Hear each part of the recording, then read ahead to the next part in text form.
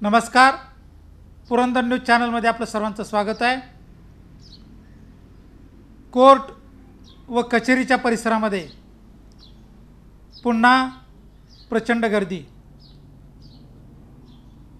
खरेदी खत व इतर दस्तऐवजांच्या नोंदण्या सुरू. कोर्टातही कडक शिस्तीचे पालन करून कामकाजाला सुरुवात. कोर्टाच्या आवारात आलेल्या प्रत्येक नागरिकाची रजिस्टरमध्ये नोंद केली जाते. त्याचा मोबाईल क्रमांक घेतला जातो. त्याला सॅनिटायझर घेतलं जात आहे. मास्कची कडक मास्क वापरण्यास कडक त्याची नियमाची अंमलबजावणी करण्यात येत आहे. सासवड शहरामध्ये तीन दिवसाचा जनता कर्फ्यू जाहीर करण्यात आलेला आहे.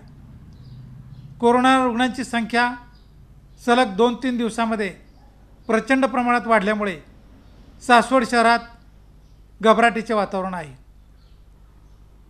हाय रिस्क रुग्णांची संख्या व लो रिस्क रुग्णांची संख्याही सासवड शहरामध्ये झपाट्याने वाढलेली आहे.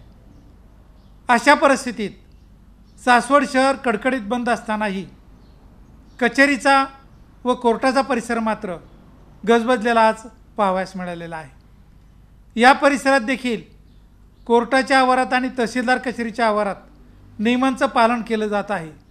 परंतु बाहेरील बाजूस मात्र सोशल डिस्टन्सचं उल्लंघन झालेलं आज पाहाव्यास मिळालं. धन्यवाद.